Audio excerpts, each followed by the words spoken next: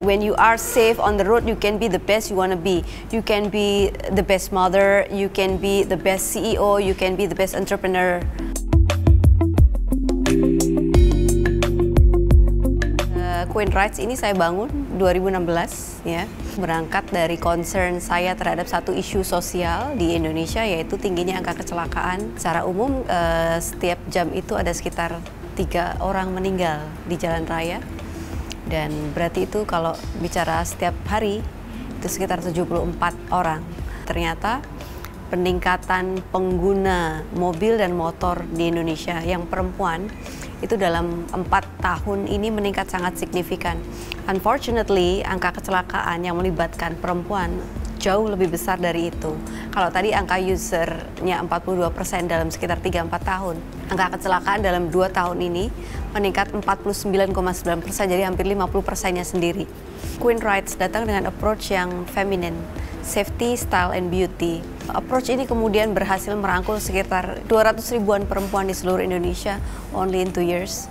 Kemudian kami sudah mengedukasi lebih dari 7.500 perempuan secara offline.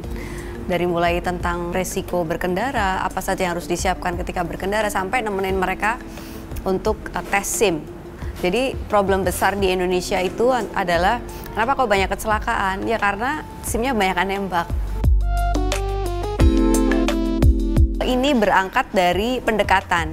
Jadi pertama isu ini isu uh, safety riding untuk perempuan belum pernah diangkat sebelumnya.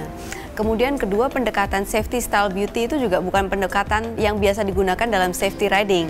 Safety riding selalu ngomongin ya udahlah safety laki banget, maco banget. Sementara kita berbicara dengan uh, perempuan menggunakan metode perempuan, heart to heart, from women to women gitu. Jadi sangat feminin. Mereka bilang uh, you save my life gitu karena aku nggak pernah dengar edukasi seperti ini. Bahkan ada sampai yang bilang kamu menyelamatkan anakku. Jadi during edukasi itu kita kasih tahu bahwa anak umur sekian sampai sekian itu sebetulnya secara mental, secara fisik itu belum siap untuk berkendara. Sementara di Indonesia biasa aja gitu kan anak di bawah umur berkendara dan orang tua menganggap itu hal-hal yang wajar. Hal yang paling menyenangkan dari membangun Queen Rights adalah ketika apa yang kita lakukan berhasil menyentuh hati orang gitu.